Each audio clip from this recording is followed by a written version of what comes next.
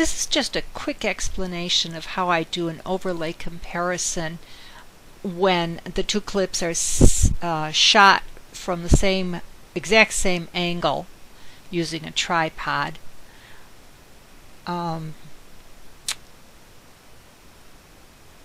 the bottom clip in this case is the dominant overlay.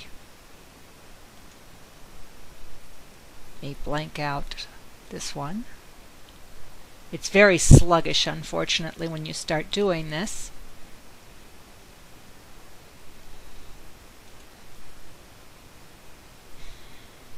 There we go.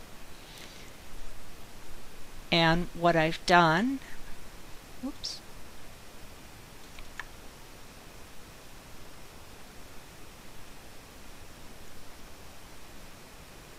So I go into mask and chroma. And this is my visibility and I set it to about 55% or, or transparency I should say. I set it to about 55 56% and then I go into chroma which is color correction and I just set it to 100% red and that seems to work for the color clothes I'm wearing and the color dog I'm running.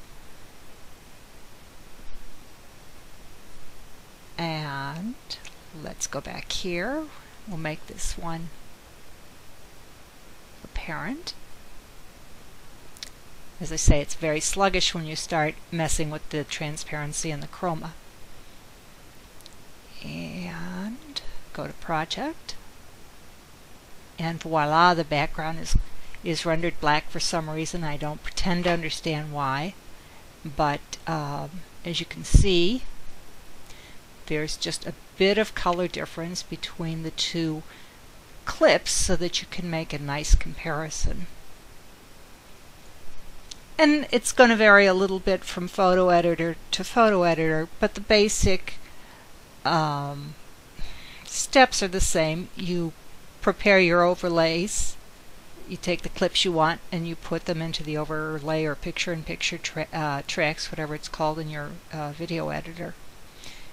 You take the transparency of the top track, which in the case of Corel Video Studio is always on the is always the bottommost track, and you adjust that to, as I say, 50 start with 50% I found 56 works better and then you adjust the uh, the, the chroma or uh, what did they call it? Uh,